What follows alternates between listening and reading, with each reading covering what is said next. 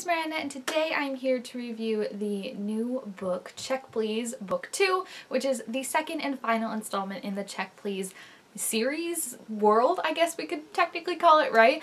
I um, actually never read this when it was a web comic. I had like seen it randomly on Tumblr, but I never checked it out myself. I, I really didn't get into web, web comics actually until like last year. I discovered Check Please and Heartstopper actually around the same time as each other, which is funny because I mean, you think of them as similar, but like aside from like having an LGBT main couple and characters, they're like one's in America, one's in England, one is like college and sports, and one is like high school, secondary school, I guess, and shenanigans that happen with that. But I do think that like since they're two of the most popular web comics, I always like associate them in my mind. The thing though, actually, Check Please reminds me actually more of um, All for the Game series, which I know is a little weird because it's not even like the same setup like graphic novel wise but I just feel like where All for the Game is like kind of balls to the walls intensity and they just go like crazy. Like if you want like the sports and the kind of like camaraderie and the LGBT characters, but without like the balls to the wall stuff, then like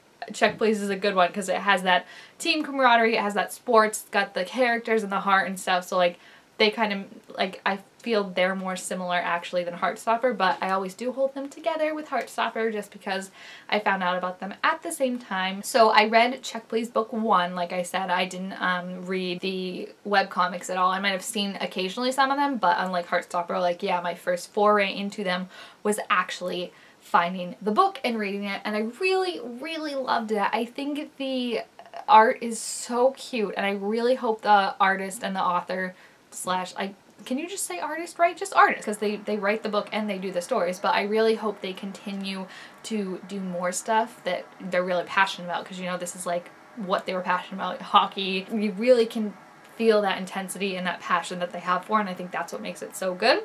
So Check Please Book 2, since it is the final book in the series, is about Bitty's junior and senior year at college and of course this is after Jack has graduated. Jack is now in the pro levels at Providence. He is playing for a big NHL team. His team is really awesome and really has his back, which is really, really nice.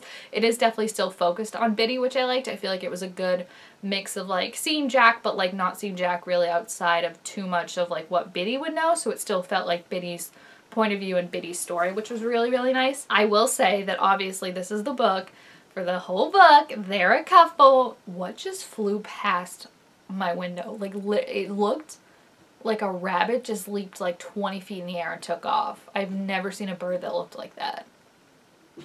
Okay, anyway, they're a couple this whole book, which is really, really cute. And in the beginning, they're keeping it a secret and just to themselves. But what I really liked about their relationship from the start is how open and honest they were with each other in their communication and just how deliberate the author was in showing that. I really, really like that. There's multiple, multiple instances where one of them isn't feeling well and is kind of just like, I don't expect you to solve this problem or do anything about it. I just need to tell you how I feel and the other person is super supportive and is like, you know, I'm just going to be here for you however you need me to and support you with that. And it was just really really nice to see like that open and healthy communication because I feel like especially with them keeping their relationship a secret at the beginning it could have caused so many issues of like one person not feeling as comfortable with it being a secret and kind of not saying that like keeping it to themselves. But there was even an instance I think where Jack said something of like no like don't keep things to yourselves. Like say them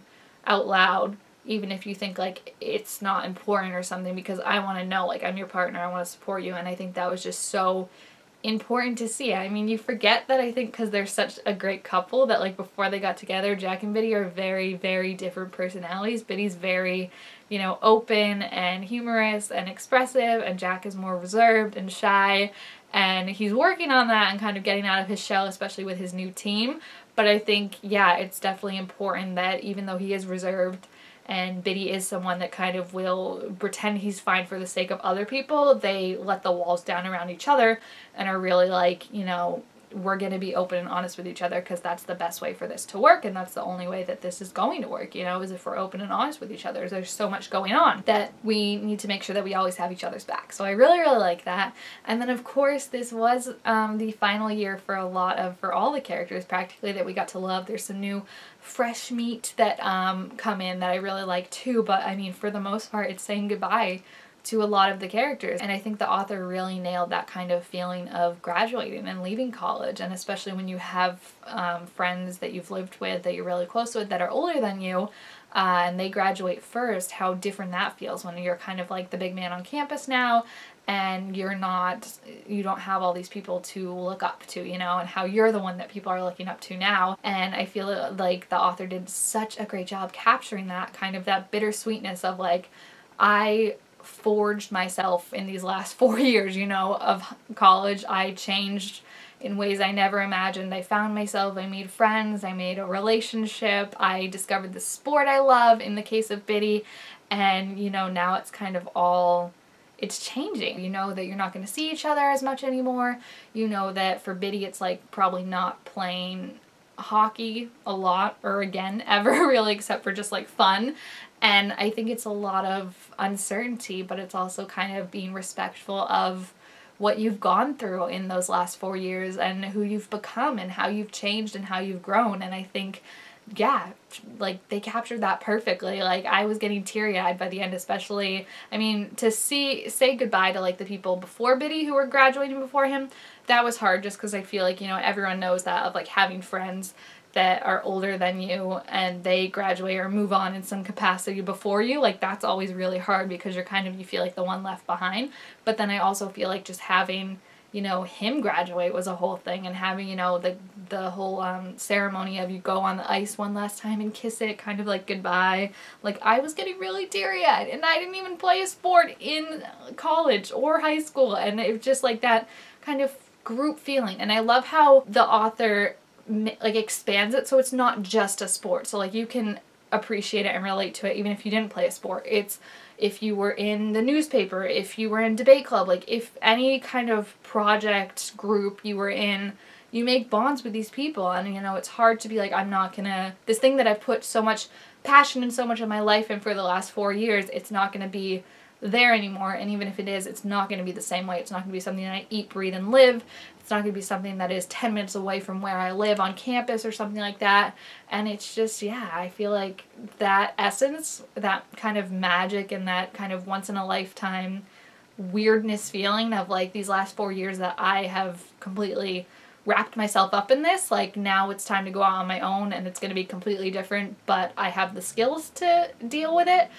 Nailed it. Like felt it completely. Like I said, was even getting teary eyed at the end, and it's just, yeah, it's just, it's such a good book, guys. It's so heartwarming, and it, it, it, there's always positivity in it, which I love. It's never like, there are moments where it's hard, and there are moments when characters are uncertain of themselves, but like I said, especially in this book, there was always the emphasis on communication and talking and not hiding things from each other and being open and honest about what we're feeling and not hiding things. And there were also definitely some humorous parts. I don't want to spoil anything, but I do love quick, quick spoiler if you haven't seen it. Um, so I'll raise my hand. when my hand goes down, it's fine. But when Jack and Bitty finally tell their friends that they're dating, I love how all the friends have to act like they're surprised and like they just kind of like knew from how they were seeing them, but then like in their heads you see that they all had a moment where they definitely caught Jack and Bitty and Jack and Bitty were not being as secretive and subtle as they thought they were. And my favorite is with, um, oh, I can't remember who it is, but it's the two boys and they see Bitty on the phone like talking to Jack and me, and, like, you're the best boyfriend ever, blah, blah, and they're both like, we take this to our graves. Like they can never know that we said it. And I loved like little stuff like that. Like it shows the true, like it just, it feels like you're reading like a group of friends and that's how it should be you know like you feel like one of them and I just love their inside jokes I love all of it and I'm really yeah I'm gonna I'm gonna miss it a lot. I like the little bonus stuff in the back was really cute you got to see just some random stuff with like pranks which was really fun but overall yeah I'm definitely gonna miss this series. It's quick if you read both book one and book two like I did it doesn't seem like it lasted forever but when you know how much the author put into this how far they came from just doodling the first character in a random notebook in college to now having two full-on published books that people love. Like, it, it's inspiring, honestly. So I gave this book 5 out of 5 stars. If you have read it, please feel free to leave your thoughts about it down in the comments. Also, make sure this video a thumbs up if you enjoyed it, and I will see you guys next time. Bye!